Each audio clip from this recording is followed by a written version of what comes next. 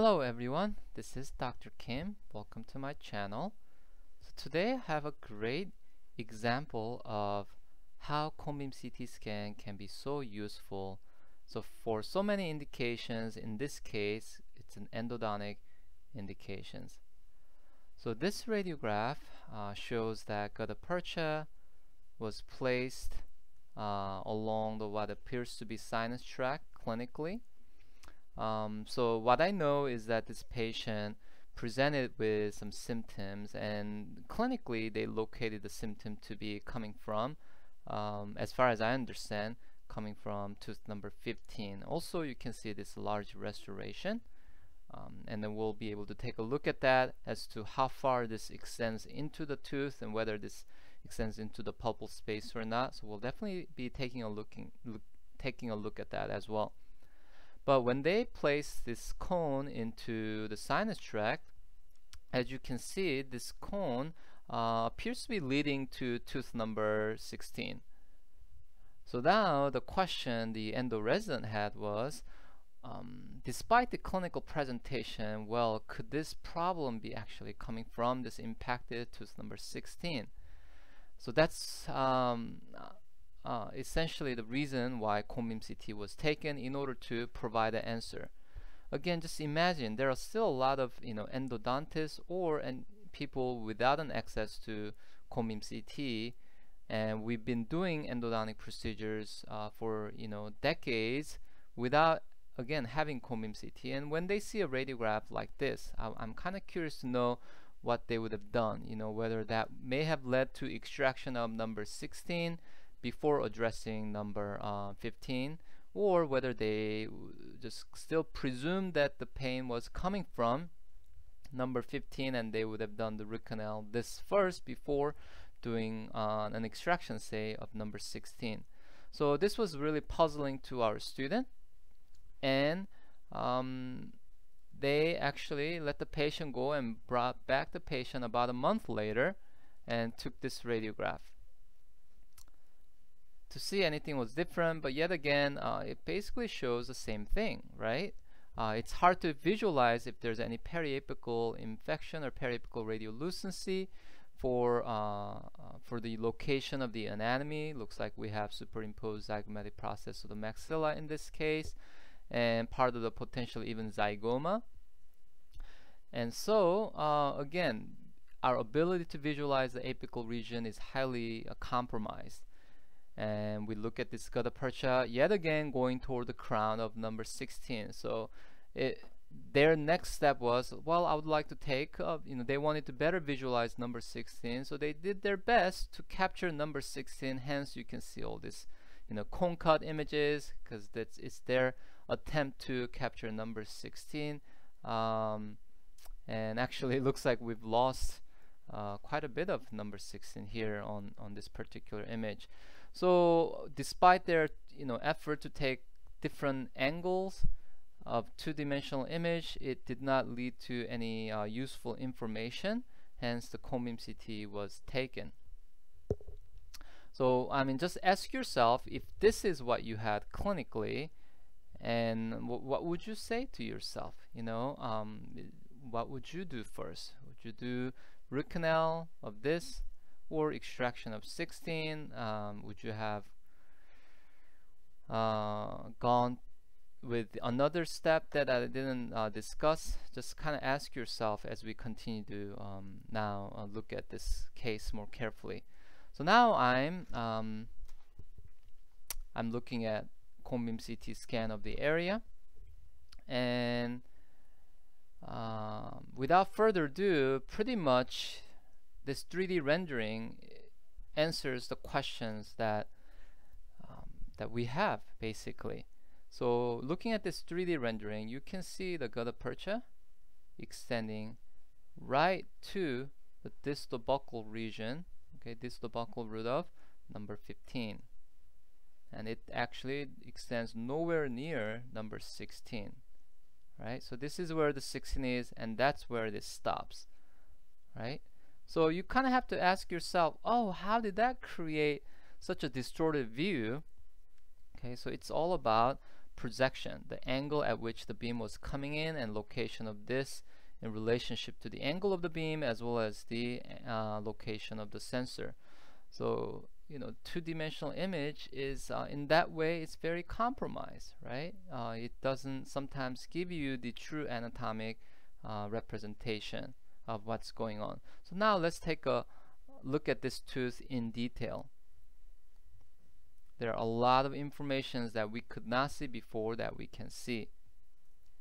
So again, this highly radio opaque uh, entity represents the gutta percha, which extends right to the radiolucency or and the perforation of the buccal cortex, which again was not seen uh, on radio on two-dimensional radiograph.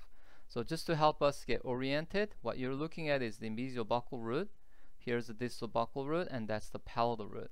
And there is a perforation of the buccal cortex and the um, radiolucency that extends down to the apex of the distal buccal root.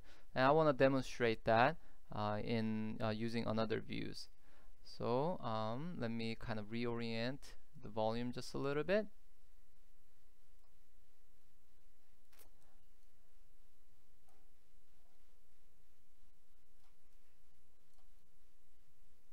So here what you're seeing in this coronal view is the distal buccal root and that's the palatal root.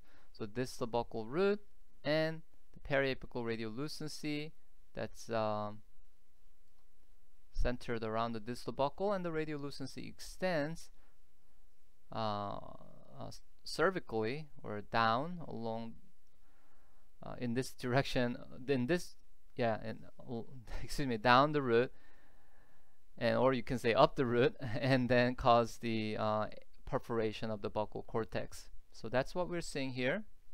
And if we scroll through the coronal volume, we can again see the radiolucency that's centered around the palatal root. So again, here's a palatal root, palatal root, and, and that's where the problem is. If we were to examine mesiobuccal root, uh, we can see that there's no obvious uh, overt widening of the PDL space in that area.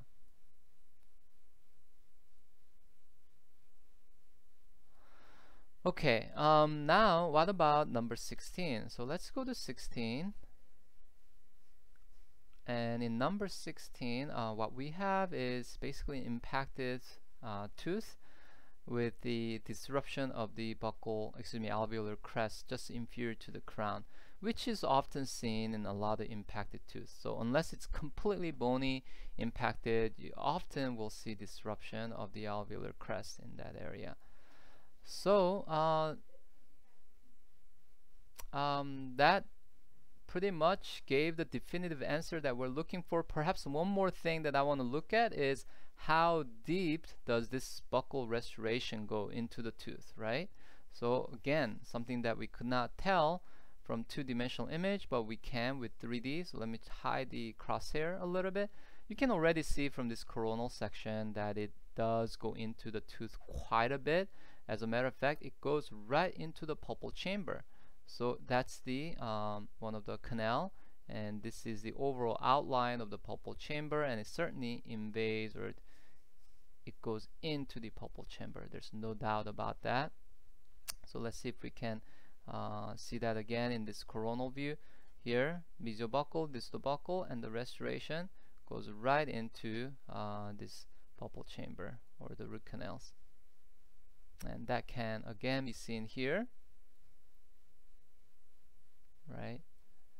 So they essentially, um, that is the reason why the patient uh, is symptomatic at this tooth. Couple more thing, okay, this is really interesting thing, but let, let me briefly go back to that radiograph. Um, let's see. So when you look at this, okay, I want you to see the area of uh, missing number 14. How would you have evaluated this site? I mean, does it look good? Um, I really didn't mention much but at a first glance I think most of us will say this is completely healed ridge. The crest is intact. Normal trabecular bone overall looks pretty good okay? I don't think many of us would question this site. Perhaps some of you will and if you did that's fine and that's great if you did that. But I want to say most of us will say oh it looks pretty good and really wouldn't have questioned that site much. But let's look at the area of missing number 14 I mean it's very obvious unless you don't see it yet there's there's this elongated radiopacity right? There's radiopacity. Let's put a crosshair mark right on that. Um, and there it is let me rotate the volume. This linear opacity. And what does that look like to you? And what would you suspect in an area of missing tooth that looks something like this and compare that the radiodensity of this to the adjacent tooth, adjacent osseous structures, and the fact that there's a thin radiolucent line going around it, Mean, what would be your number one differential diagnosis? And I hope all of you will say that this is a retained root tip. Okay, so if you did that, that's great. So this is a retained root tip and based on the location most likely representing this the buccal root tip of missing number 14 okay so yes that's what it is retained root tip and let me go back. How how clearly is it seen on 2D not very clearly right?